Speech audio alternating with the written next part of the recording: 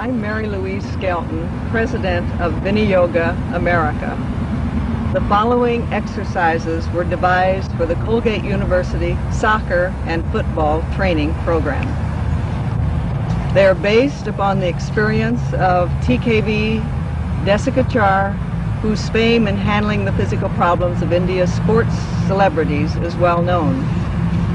He is also the founder and guiding light of Viniyoga America, Viniyoga International Association, and the Krishnamacharya Yoga Mandiram of Madras, India.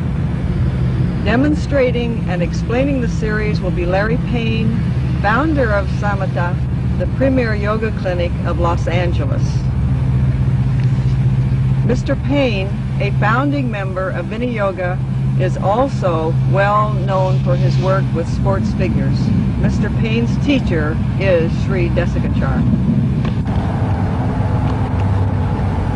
On behalf of Viniyoga America, I introduce TKV Desikachar. Hello. Recently, I was invited to watch the stretching exercises of the football and the soccer players of the Colgate University. I was very happy to see that most of these exercises were similar to the yoga exercises that we are used to. I proposed to the chief coach, maybe we can uh, utilize some of these exercises and put them in a slightly different order so that these exercises can be better organized for smooth flow and yielding less risks. Larry, my friend, now will explain the principles as he demonstrates these exercises. Nice to be here. Hi, I'm Larry Payne, and I'd like to start off by thanking both the Colgate coaching staff and your fine training staff for allowing me and my teacher, Mr. TKV Desikachar, the opportunity to show you some of our techniques. The reason I was selected, as you will see, is not for my fine technique in the postures, but partially because about 22 and a half years ago, I was out here playing football with you, and if I can do it now, you can do it. Some of the things that you'll notice that are possibly new to you is some moving while we're stretching. Please don't get this confused with bouncing. It's a flow flow series incorporating many things that you do in a very sensible order. The other thing that you'll notice is that the breathing starts to happen when you're moving. Breathing isn't normally incorporated in stretching. Therefore, we've added something that will also be helpful breathing. You'll see me moving and holding, so we use both combinations. The final thing is that by moving and flowing, you'll be in a different state of mind with your stretching state of mind is more of a sports state of mind. And we hope this will be a winning combination for you this season. I'd like to begin with three different standing series, each one a little more difficult. If you use just one part of this, any part will help you. We'll be very happy. Take these as they come, one at a time, each one a little more difficult.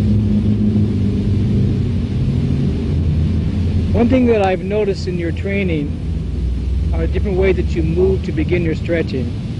From my teacher, the safest way to move in the beginning is to go up, to decompress the spine, to elongate. So our first movement is up.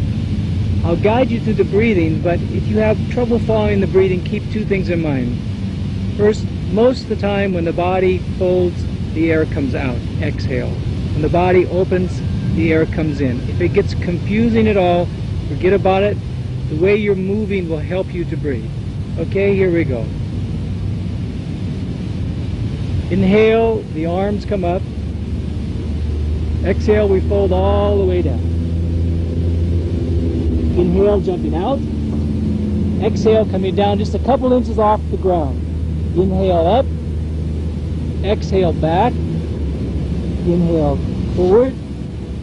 Exhale where you are, straighten. Inhale out and up, leaning back now.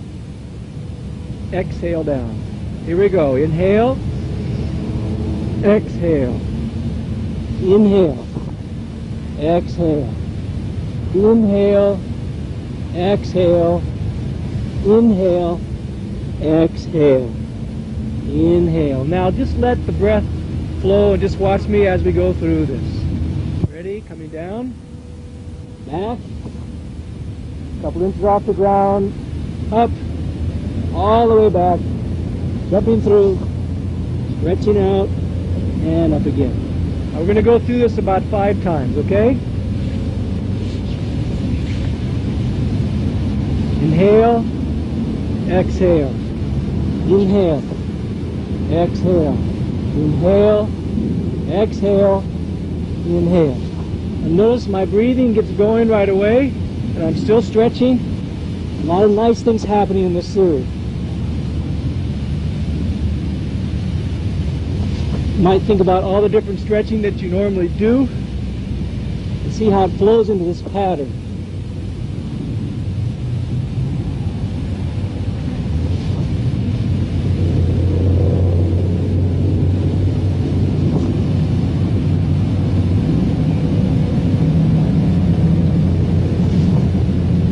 Okay, that's what we call flow series number one.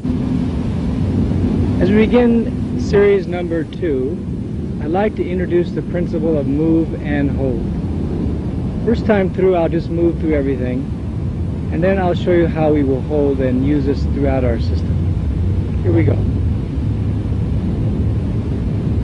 Again, if the breathing gets complicated, just keep in mind this system is built so that your body will breathe as you flow. Just use me as a guide point. It gets complicated, just let it happen. Inhaling up, exhaling down. With your right leg, inhale back. Exhale, stay where you are. Inhale, coming up. Exhale, coming down. Inhaling back. Exhaling down a few inches off the ground. Inhaling up. Exhaling back. Same foot coming through again. Inhale. Exhale, stay. Inhale, coming up. Exhale, coming down. Inhale, moving through. Exhale and fold. Inhale. And continue. Exhale. Left foot this time. Inhale. Exhale. Inhale. Exhale. Inhale. Exhale.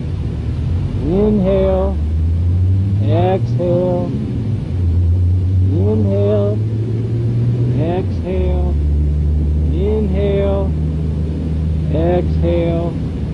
Inhale. Exhale. Inhale. And exhale. Okay, now I'm going to go through with move and hold. Forget about my breathing counts. Let it flow. Follow me through the poses. And let's see what happens.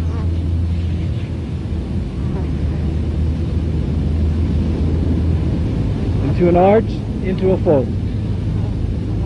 Right leg back. And now we're going to come up and hold this position that we moved through before. The count of three, four, five, and take it down. Moving back into the push-up position, holding one, two, three, four, five. Take it down. And up. Holding. One, two, three, four, five. Move it back. Holding. One, two, three, four, five. Again, right foot. And take it up and hold. Three, four, five, and fold. Take it forward and fold. Take it up. And we're back. Now I'm going to mix it. Show you how we can mix, move, and hold.